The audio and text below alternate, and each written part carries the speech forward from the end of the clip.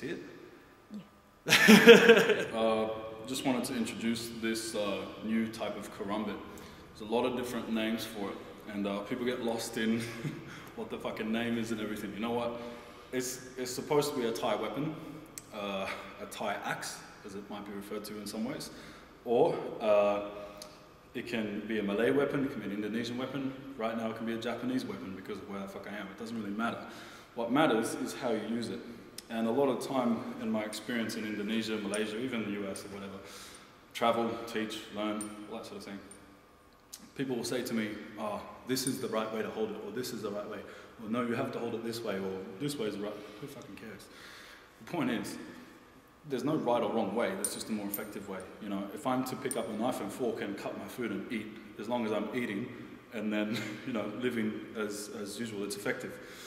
Point is, if you're using a weapon take this out, it's a very situa- it's a very bad situation. You've decided that this fucker needs to die, and that's why you've employed such a weapon.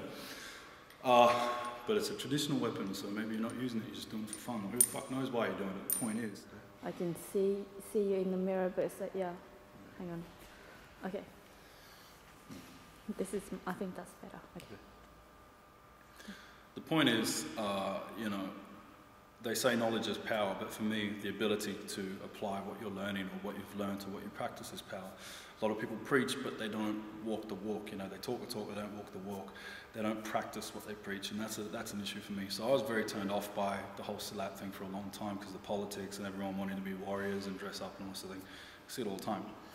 You see, you see it in every single circle, every single field, everything. It's not just Silat. But anyway, uh, this year I'm deciding to share it again.